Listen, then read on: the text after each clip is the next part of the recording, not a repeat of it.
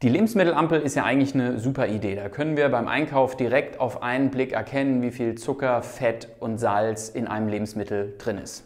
So würde das theoretisch dann aussehen.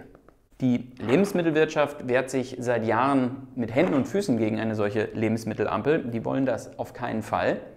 Aber jetzt auf einmal haben sechs große Lebensmittelkonzerne, unter anderem Coca-Cola und Nestle, Pläne für eine eigene Ampelkennzeichnung vorgelegt.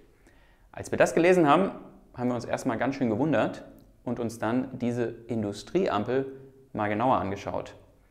Und selbst ein Produkt wie Nutella, was zu 90 Prozent aus Zucker und Fett besteht, würde mit dem neuen Kennzeichnungsmodell der Lebensmittelindustrie keine einzige rote Ampel bekommen.